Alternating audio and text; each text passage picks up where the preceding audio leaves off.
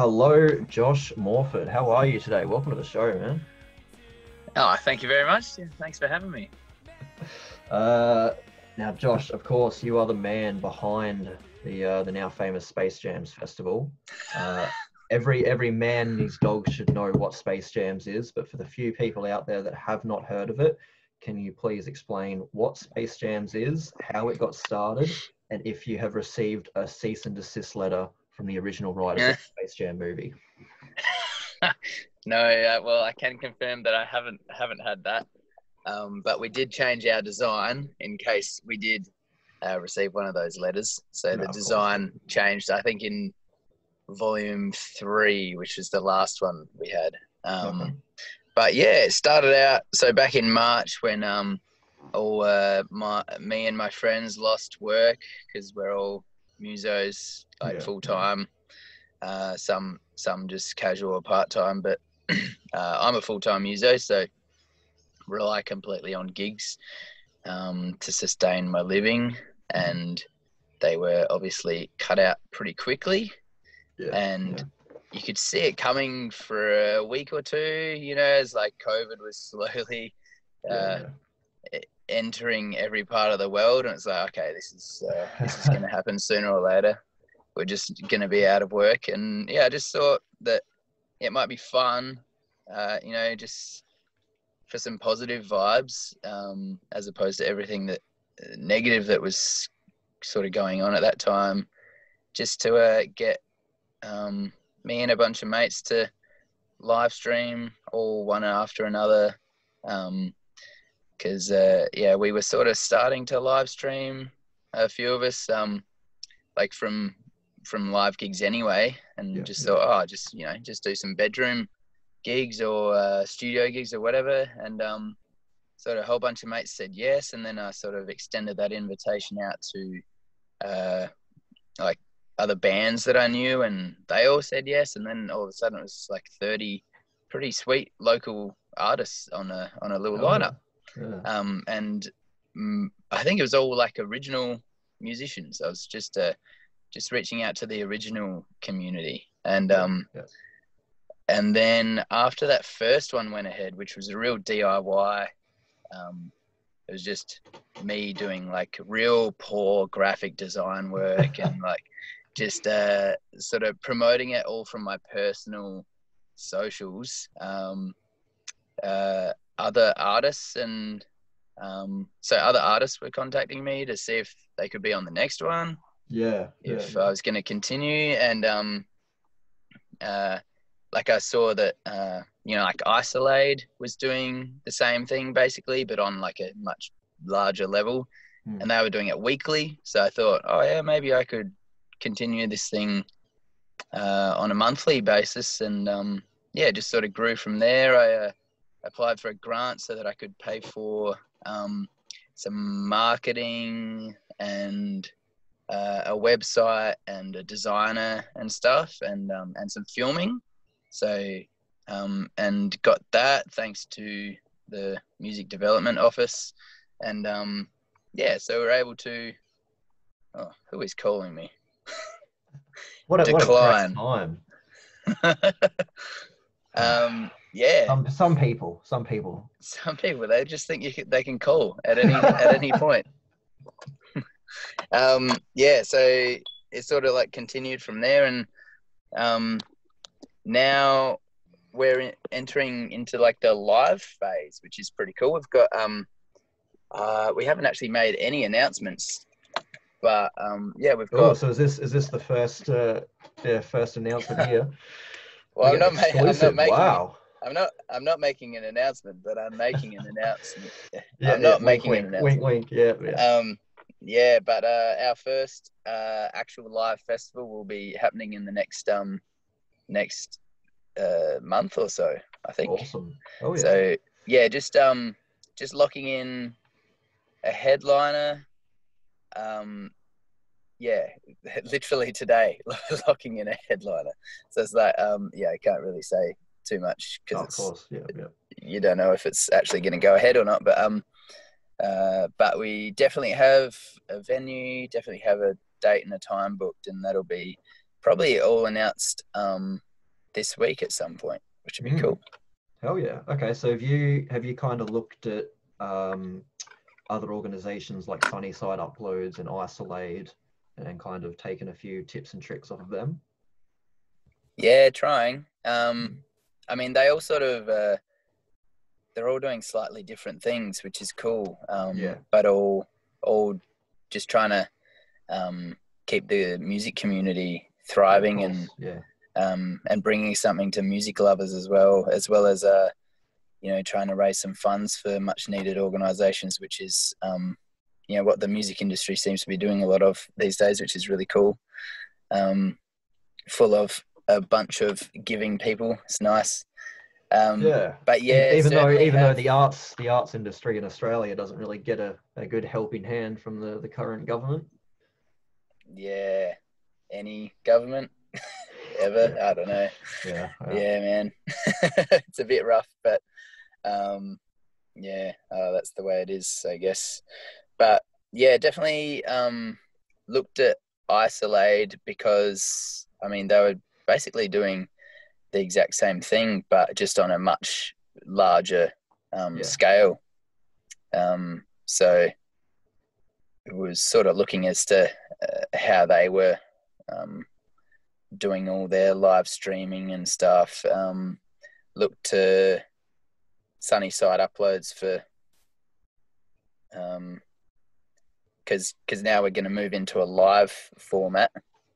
I've got to look into possible possibly live streaming that live gig, and um and so getting good quality audio and good quality visuals as well, and um yeah, but all those guys are doing such great things and knockoff sessions as well, and um, yeah, sort of. I hope hope those things continue in one form or another. Um, but it's certainly helped the music community and music lovers in general. Like you Oh, can see yeah, those those things are quite popular and uh, a lot of people are watching, so it's it's good. Yeah. Uh, so is your decision to move to a to a live format kind of your way of continuing uh, Space Jams in- into the future post COVID? Yeah, I suppose so. Um, I've always kind of wanted to do some sort of festival thing, Yeah. and then this uh, opportunity kind of presented itself, um, or kind of just expanded into what it is now, and now I kind of have that opportunity. Um, Space Jams kind of has, yeah, a little bit of a name. Like people, like um, people have been following it now for a few months, and um, it's sort of yeah, Hmm. growing like slowly, but um, getting there. And um, by taking it into that live format, that's uh, yeah, that's what music's all about. Is uh, Definitely. seeing it, seeing it live, and um, experiencing it with other people. So I'm pretty excited about that change. Yeah. Well, well, I can tell people um, definitely enjoy what you're doing. So the idea of you continuing it, I'm sure, is going to resonate very well with a lot of people. Um, so hopefully, yeah, you keep the motivation to keep doing that post COVID. Um, I think I definitely think live streaming.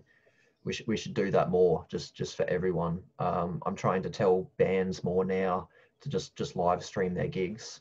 Um, just just get their footprint out there more. Um, it's an amazing Yeah. piece of technology that uh that that uh that we're able to use. You know, you can play a gig and get your music straight into people's you know living room or their bedrooms, and and they and they see you and everything. Obviously, it's it's uh, not like being at the gig yourself, but it's it's um second best thing for sure.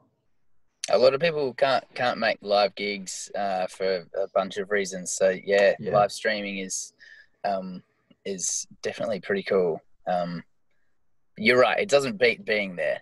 Yeah. but um, I think it's not going to deter people from being there either. I think if Yeah, anything, it yeah. just sort of um, it just kind of uh, I think it promotes the the music community as a whole uh, on a larger scale. I reckon. Definitely, yeah. I, I don't think it takes anything away. Um, I did the, the bands I was talk talking to. They did mention they were a little worried that you know if they live stream their gigs, people won't come.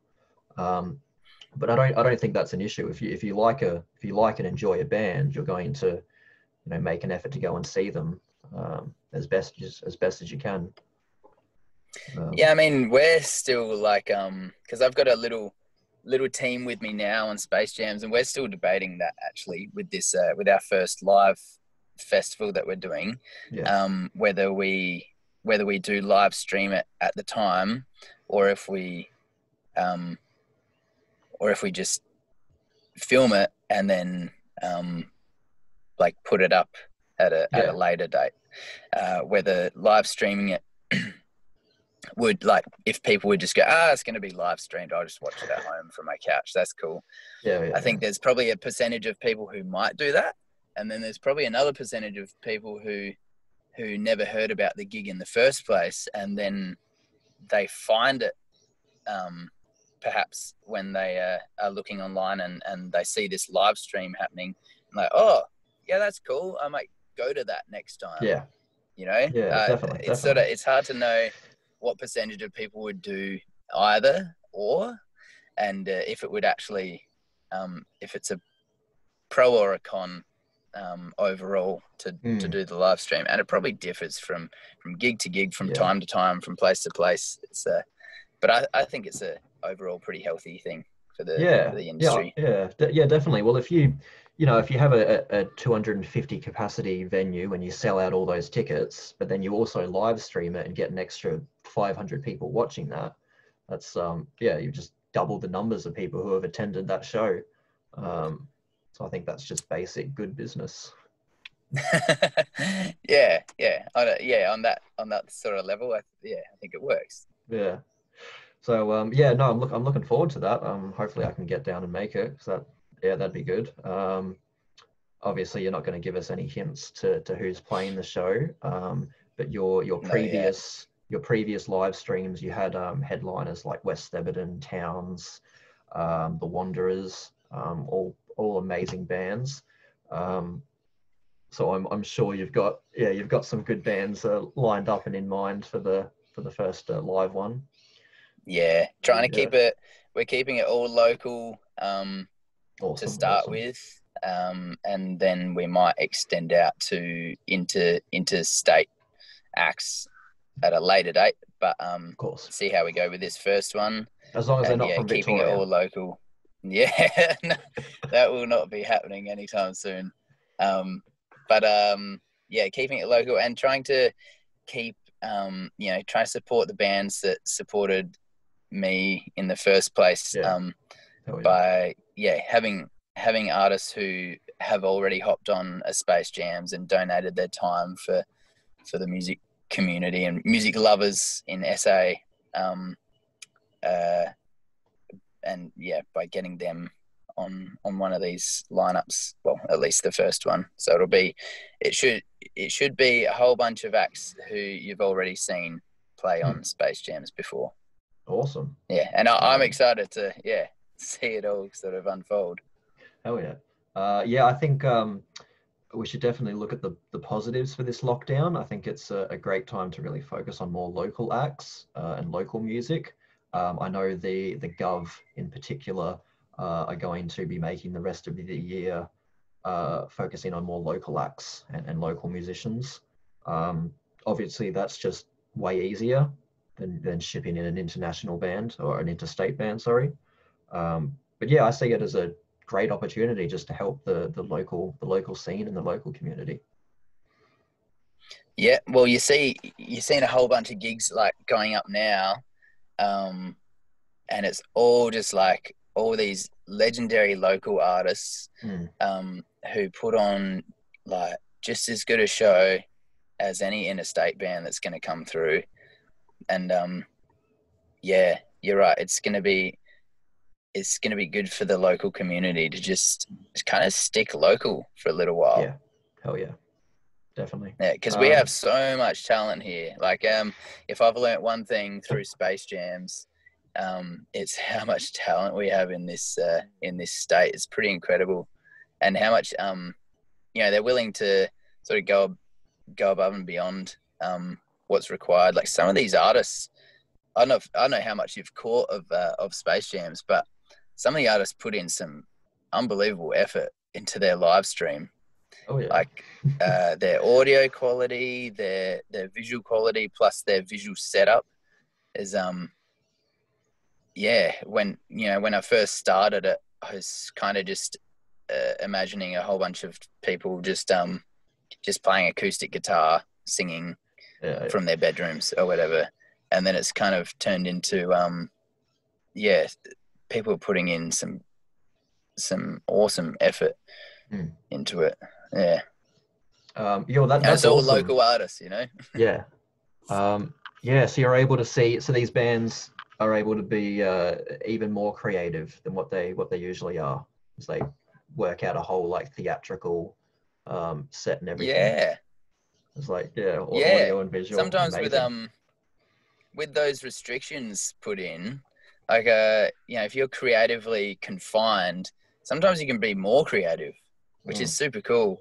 Like um uh and I mean and going with the theme of like um like isolation and quarantine and stuff too. Like um this band uh I don't know if you've heard of them, Eraser Description. Okay. Um this is just one of one of many who've sort of gone above and beyond. yeah, yeah. Um, they're set up, I reckon, in like volume.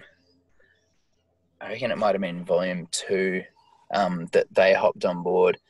They were in like a corridor, um, which was just lit up by blue. So it's just a blue lit corridor, and they were all wearing like gas masks and goggles and stuff. And they're th- like this soul funk um, fusion, like jazz fusion kind of um, instrumental band, and they're in- incredibly tight and talented players.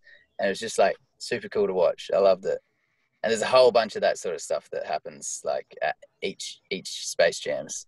Yeah, everyone just gets real creative. Um, now, Josh, what is so? What's your background in in the Adelaide scene? Um, so I have been uh, in a bunch of bands since I was a teenager. Um, my probably like two years ago, I quit my job. Yeah, I spent four years at uni, uh, four years in the workforce, being an engineer, and uh, and after eight years of all that, I realized that I didn't like it at any Mm. point. Like I didn't really enjoy it at any point. What was I doing? Yeah, yeah. Um, yeah, as pro- product of the system, Hmm. and being a musician is not a safe job. So um, I sort of yeah took the risk and went. "Uh, I want to be like uh, I want to do what I enjoy rather than Yeah. Hell yeah. what I'm supposed to do. And um, uh, yeah, just went for it. Quit my job and started. Um, yeah, just doing like it was only mostly cover gigs, but um, I'd be doing like three, four, five a week. Hmm. Um, and uh, that was that was uh, um, then my like uh, my way of life, I suppose. And then um, obviously being in a couple of original bands as well um, along the way, just doing my original gigs here and there. So one of the bands is called Talk. Um, then we've been around for maybe like four years or something. Um, and just have another couple of things in the in the works. I've just started um, playing guitar in Laura Hill's band as well. oh, That's kind of exciting yeah. but also possibly something that may not have occurred had um, like isolation not being in place and stuff. Um, just because I probably would have been still in uh, like um, keeping keeping on doing what I was previously doing and probably didn't wouldn't have had time to have done it. So that's nice to branch out and do something a little bit different um, for myself, and as well as space jams. Um, yeah, so that's uh, basically my part in the music community. That's who. That's who Josh Morphett is then. That's Yeah. right, that's right. Oh, I um, I, I run a a radio show as well. I do um uh, a show called Friday Breakfast on 3D Radio. Oh wow, you I've do been that? doing Oh, that for I didn't, I didn't realize. Wow. Little little detail you just leave until the end there. Yeah. You may recognize this sultry voice from Yeah, the yeah. 6 to 9 a.m. slot on 93.7 FM. yeah, so I do that with my mate Michael. Um, uh, and that's been lots of fun. I think we've been doing that for about 10 years or something. Oh wow. Do you know? Um, do you know um James, Jimmy, Jimmy C? Jimmy! Yeah. Uh, no, I don't. I don't, I don't Okay. know. Maybe I do. But um, okay. Yeah, he's got his own. I'm not, well, he had his uh, own show on Fresh. On Fresh. No, I'm not too close with the uh, Fresh crew um, or like Radio Adelaide or anything. Oh, but- yeah, yeah. Um, yeah, but do love community radio as well. I think that's um, that's underrated in the Oh, definitely, definitely. In- yeah. in the scene. I did a little um little like apprenticeship at PBA FM up in uh, up here in Salisbury. Ah, cool. Uh, so Yeah. that was quite nice. Had my own little show for a little bit, and that was yeah, it, it, it's fun, you know, being being on air and, and chatting and and bantering. And then you started this. Yeah, exactly. Yeah, yeah. Is, is that sort of how you how you got started on this? Yeah, yeah, pretty much. I went from yeah, pretty much uh, the show or the show we had was called the Oz Underground Show. Um, Yep. and then I guess yeah, kind of just transferred that to the to the internet and and uh, continued with that. Um, but yeah, I found yeah, I, I love I love the music scene here. It's amazing. I, I remember when I first uh, first moved here from Queensland a few years ago. Um, I loved how tight knit and welcoming everything, everybody, and everything was. Um, and how willing people were to sit down and and uh, be interviewed by some random uh, uh, long-haired uh, long-haired kid. Uh, so I just thought that was that was quite lovely. Yeah, cool. Yeah, it is. It, it is a really nice community. Yeah, I, mean, I yeah. um I moved to Melbourne for a, a couple of years for for work, um, and when I got back was I'd say when I really started honing in properly on the on the SA music community, and um, I know you sort of always think that like uh, everyone might be a bit um, you know have their own little pockets of like their own little scenes and little clicks. whatnot Yeah, that you know yeah the clicks that's the right word um there, there are but- those. There are those, but they're not as um, ruthless as probably what you'd find in Victoria or, or New South Wales. They're still welcoming. absolutely Uh, yeah, which no, is amazing. absolutely yeah Everyone has a little bit It's of very supportive. here. Yeah, definitely. Yeah. definitely. Um, how are you? How are you handling isolation? Obviously, we're somewhat coming out of it now, but um, how'd you? Yeah, how did you deal with just uh, you know obviously not being able to see friends or, or family or or work as much? well i spent six months in a caravan last year with but i've got two little kids Hmm. and um, a partner and we spent six months in a caravan last year so that was i feel like that was just good good practice Yeah. um, yeah, just traveling West Oz, and when we went into isolation, it was kind of um, well, it wasn't even proper isolation, was it? But we we did self out isolate, especially because we got kids, so it's just like you can't stop them licking everything and Yeah. picking their nose and what you know. Um, so uh, yeah, we just sort of spent however long, like four weeks at home, not seeing anyone, and uh, and a house compared to a caravan is plenty of space for a couple of Yeah. little brats to to run around. So it was um yeah, we we weren't too bad off, I reckon, and um I just kept trying to live stream on on weekends. I would because I'd usually have about three, four, five gigs a weekend anyway that I'd try get um you know I'd tell people about if they wanted to come along and and check it out. Um, so I kind of I tried to continue that with the live streaming side of things. So I just say, but I tried to get creative because I didn't have um, a whole like you know you didn't have pubs you could go to or whatever. So like I'd do um, just a regular uh, gig from the rumpus room. I did a couple of gigs out the front of my house.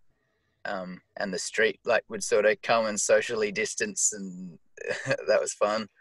Um, I'd do like a gig on the beach, or like uh, from I'd do a ukulele gig from from a wardrobe. Oh, awesome. Um, and I'm not very good at the ukulele, but I, I got about half an hour's worth of songs together. Yeah. yeah. So we tried to sort of continue life as normal, as with as much normality as we could. So it's, yeah, it was kind of nice to have the break, to be honest. I'm sure. Yeah, I'm sure a few people. Uh, yeah, you, you seem like a man that would be looking at the positive side of it and everything, and, and trying to stay happy and healthy during it. Yeah, I try. Doesn't always work out that way, but yeah, no, you're better off looking at the positives. Um, uh, yeah, looking yeah. at the negatives is a look, look at the negatives in a like a problem solution way. Um, but there's no point in uh, yeah, sort of just. I mean, you can you can sort of get get a bit down about stuff and not help it, but yeah, if you can if you can start to um, kind of mindfully look at the positive side of things and and actually come up with a solution and do something about it. And um, then yeah positives come out of that you know? Like i'm pretty i'm very stoked that i'm able to bring space jams to people and um and that we're you know moving it onto a live format now. Like Hmm. that sort of thing is really exciting and uh and brings me a lot of joy and value. Feels like you know this, this generation is sort of like needs value in in in life and um, Oh yeah. whatever yeah. they're doing and uh, and this certainly like I feel like I I get that from from organizing space jams um, and that wouldn't have come without like trying to think of a, a solution or a you know a temporary like positive way of positive positive spin on on like a problem that we're having you know Yeah, yeah. so yeah definitely. try try to think in the in the positive way and see what comes of it Yeah. Are you um are you hopeful for the future of the of the local art scene and the industry as a whole? yeah i mean you're always going to have creatives so like um you know yeah, there's, there's a lot again there's a lot there's a lot to complain about with like funding and um Yeah, of course. of course. and uh, and job opportunity and the industry as a whole and whatnot. But at the end of the day, I mean, um, creatives and musicians and artists are a resilient mob, and it'll yeah that uh, the creative industry will just find a way regardless it would just be nice if um if it was a bit easier and Yeah, recognized as as uh well as essential i suppose Yeah, definitely. Well, yeah. I, I'm in the firm belief that it is essential. Um, obviously, a world without, you know, music and live gigs would be utterly, utterly depressing. Um, it's yeah, it's just a shame it's not as big of a focus as, as what we would want it to be. yeah no you're right there Hmm. Um, yeah, okay, but um, yeah. So as someone who I guess is a bit of a well, you're now a bit of an industry insider. Um, just kind of just looking at how how I guess our government and our, our state government have been approaching uh, just the whole the whole issue with um. I mean, I mean, what they did 250 million as a stimulus package for the for the arts art sector. Um, do you think that's enough? Uh, I mean, when you start comparing it, you know, like um, you know, the latest one is the comparison to the aviation industry, and it's uh, and the numbers speak for themselves. Like, um, that you know that just that comparison is unfair. Um, Yeah. as a as a direct comparison, not saying that um, you know, 250 million isn't enough or however much aviation got is too much or whatever it might be but the direct comparison is um is unfair so um Of course, yeah. when you see that sort of thing it's like it feels a little bit um it's not being treated the same. Like 250 million does sound like a lot of money, um, but uh, yeah, it's not as much as some sectors are getting. But Yeah. I Do, mean, do you think do you think um, the industry is under attack at all? Because personally, personally as a as a journalist, I, I look at uh, journalist, I say, I look at how how um, how the government has treated you know media, how they've treated the ABC and, and other companies like that, and it doesn't it doesn't look nice. It doesn't seem hopeful. Um, it, it makes me a little bit worried personally. yeah, Yeah, a little bit. Yeah, well, I mean, maybe in the, the positive side inside of me, and the uh, the ignorant just chooses to not uh, not look at it too much. Yeah, I don't know. Um, uh, I sort of wish that I was a bit more politically inclined. Um, I just tend to tend to look into that stuff and just Yeah, like get overwhelmed with negativity because yeah you can start looking at those numbers and how the uh, arts sector is being treated and you know what funding is being cut like you know sort of uh, forget about covid just the general like budget year to year things being cut um, that seem to seem to matter to everyone except for know, lobbyists like co- coal mining industry and stuff that's just just it it's out of this world that that anyone would see a future in some of those things.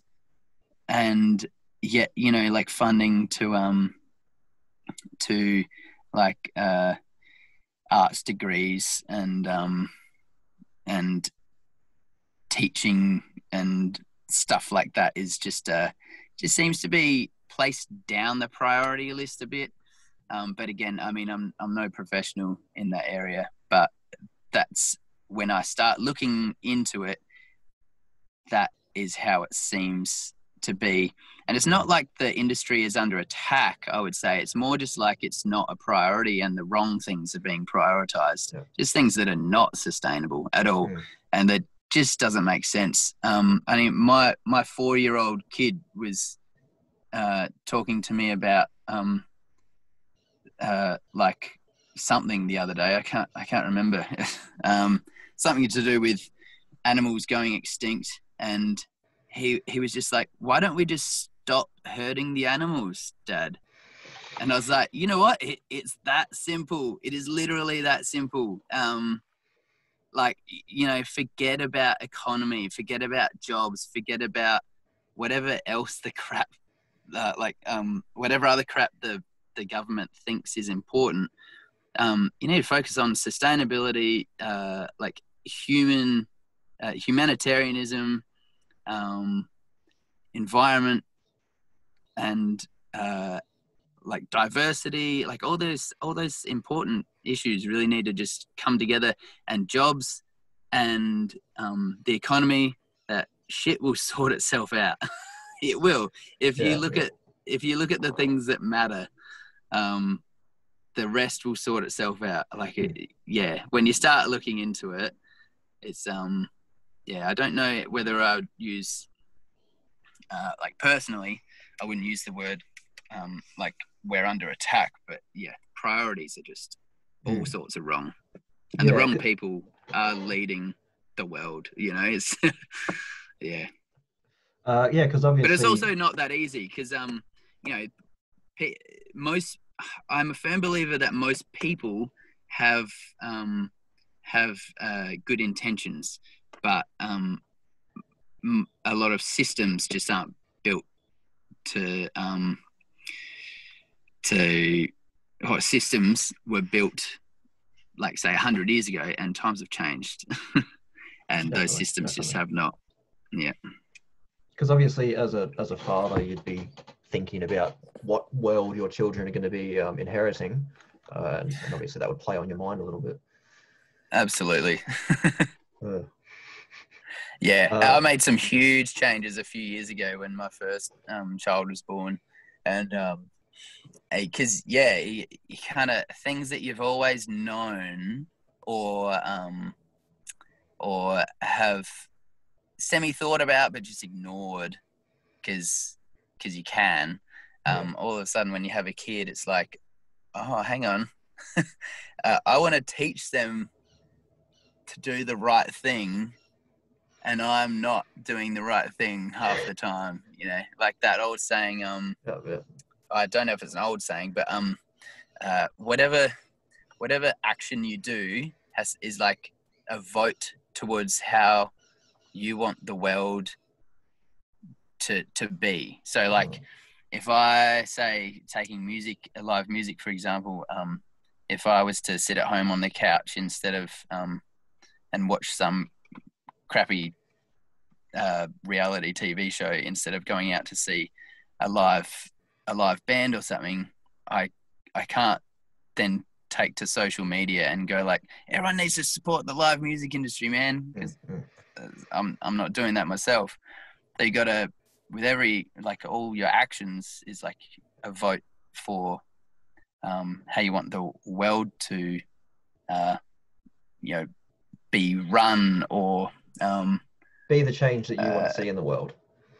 That's exactly it. And when um you know that, but then when you have a kid, it's like, oh, actually, I literally have to teach that, and I have to, I have to be, I have to set that example.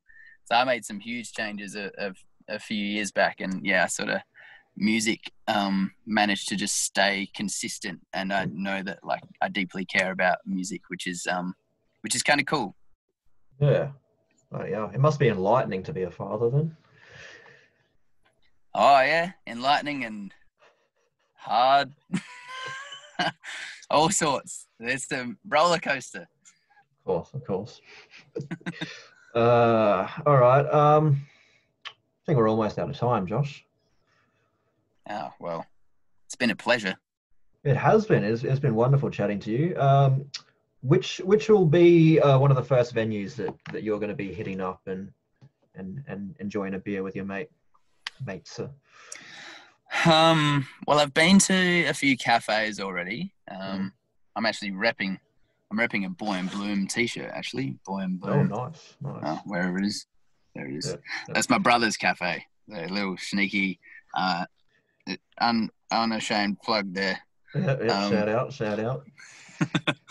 yeah so they they have a place um yeah i've been to cream and uh and goodness in like i i live in maslins so um my local is uh like goodness in Aldinga i i hit that but um yeah pub i haven't actually been to a pub yet have i just trying to think i'm going to a pub this this friday but it's only because i'm gigging there Oh, okay. it's my yeah. first, my first, my first proper non-private show Cool. um, gig back since COVID. Yeah, I've had a twenty-first and another birthday party, I think, but um, uh, yeah, I haven't, I haven't played a, a pub show yet. So this is the first of hopefully quite a few more to come rolling back in. Yeah, hell yeah. Um, do you have Yeah. a do you have a favorite venue in Adelaide? I love the Grace.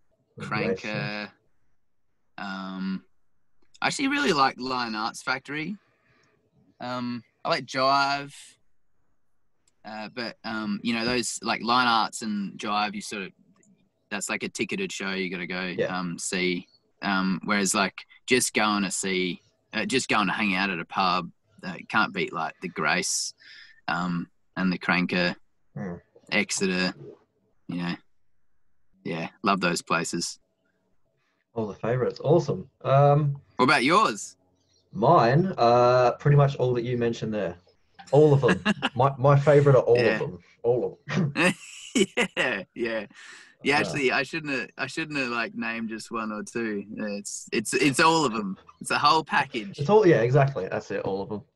Uh, awesome. Yeah. Well, um, so you've got so you've got the live the live space jams planned. Um, do you have a do you have an estimated date at all for that? Um, yeah, it'll be mid August. So I'll be um, okay. should be announcing the date this week, and hopefully announcing the headliner um, shortly after that. Awesome. Yeah. Do you think it'll be a full capacity gig? Yeah. Yeah. Hell Yeah. yeah. Oh, sorry. cool. You mean um, uh, you mean full capacity? Um, Yeah. Yeah. so yeah, I mean that's out of everyone's hands, but um, Hmm. at the moment the place where uh we've booked is at half capacity, and Okay. they said if um if and I think most venues are probably in a similar boat. Um, uh, if South Australia keeps on going the way it is, then restrictions will be completely lifted. Well, not completely, but restrictions will be lifted enough um, to allow full capacity, which would be great. And I Oh, reckon yeah. either way, at half capacity or full, I think this show will be sold out with the lineup that that I've got. yeah. Uh, okay. Big. We got. So you want so you want to get in there quick. Hell yeah, Yeah, that's yeah. right. All right, we got big, we've got big hopes for the uh, for the for the show then. Big expectations. That's it.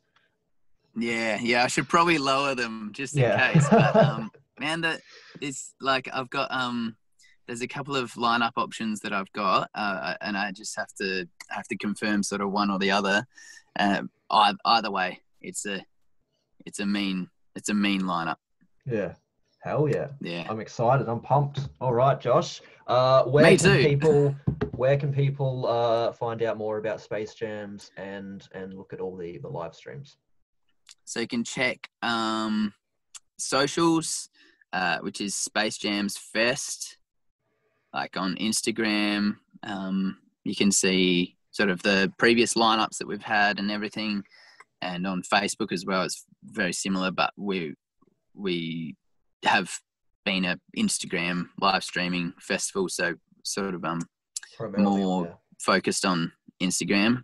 Right. Um, we have a website uh, which was designed by the fabulous Nick Nancaro of Hand to Sky Designs, who does an awesome job. He, um, yeah, he was just going to help me out anyway, um, just doing a real simple website that I Yeah, could yeah. manage myself. And then I managed to get this um, some money to pay him, and um, he's been unbelievable. He's like, "Yep, I'll just look after the whole thing and um, make it real gnarly." So uh, it feels good that I've been able to, because he was out of work as well, being a, a website creator. So um, at the start of COVID and isolation, so it was nice that the MDO could give me some money to help the like the arts sector in Yeah. you know because a lot of people kind of tend to think like directly to musicians and stuff you know web creators were struggling too so it's nice they're, that i could help industry. help him out. Yeah. Um, it's especially nice that he was just going to help me out anyway, you know, and then I could help him out more. Um, uh, uh, so he designed that website, spacejamsfest.com.au, and that's got um, like all the previous lineups, and that'll have everything you need to know about the next Space Jams coming up. Hell yeah! All right. Well, we will drop the the link for that website in the description for this. Um, but with that, Josh, absolute pleasure chatting to you, man. And uh, I- I'll see you at the uh, at the first live Space Jams Festival in August. Awesome. Thanks, Jordan. Really appreciate the chat, man. Hell yeah, man! All right. Thank you, Josh Morphett of Space Jams. Cheers.